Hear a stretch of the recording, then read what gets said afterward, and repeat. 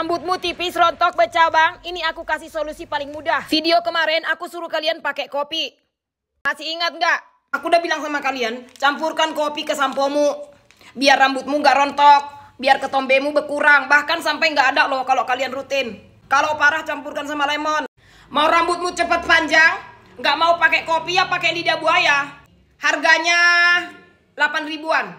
Lidah buaya ini nggak hanya mempercepat perpanjangan rambut, bisa juga menutrisi, meluruskan dan melebatkan rambut. Jadi kalau kalian punya permasalahan rambut yang luar biasa nggak bisa ditangani sampai kalian lidah buaya tobat-tobat rambut rambut, cari aja tanaman lidah Sekalian buaya ini. Kalau kalian mau gratisan, ya kalian tanam. Tanam, tanam. Satu tahun udah gede-gede lidah buayanya. Mau lidah buaya yang kecil, mau yang besar, mau yang panjang. Yang penting lidah buaya. Kalian blender, tuangkan ke rambut kalian. Diamkan selama satu jam atau dua jam. Kalau bisa semalaman. Dijamin dah rambut kalian yang kusam itu, yang bercabang-cabang itu, yang udah nggak ada harapan, yang pengen kalian potong. Utuh kembali, lebat kembali, berkilau kembali. Kalian pakailah tujuh hari, pasti udah kelihatan perbedaannya. Jangan satu bulan sekali, terus kalian pengen rambut kalian kayak rambut artis, nggak mungkin, nggak mungkin. Semua itu butuh proses sayang, butuh proses, proses. Ya kalau kalian banyak duit yang gak usah pakai lidah buaya, tinggal kalian ke klinik aja, ya kan ada tanam rambut, ada apa hair extension atau hair apa. Itu khusus yang nggak mau ribet, tapi ada duit. Kalau kalian gak ada duit ya udah gini aja woi. Tengok nih rambutku nih. Ah, berkilau kan? Panjang kan? Hitam kan? Karena emang kurawat.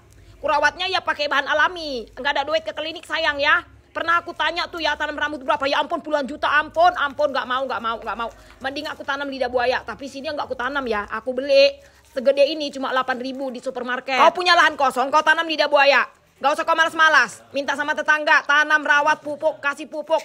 Kasih uh, pupuk kandang, kasih pupuk apa aja dah. Lidah buaya ini bisa juga untuk kulit, gak hanya untuk rambut.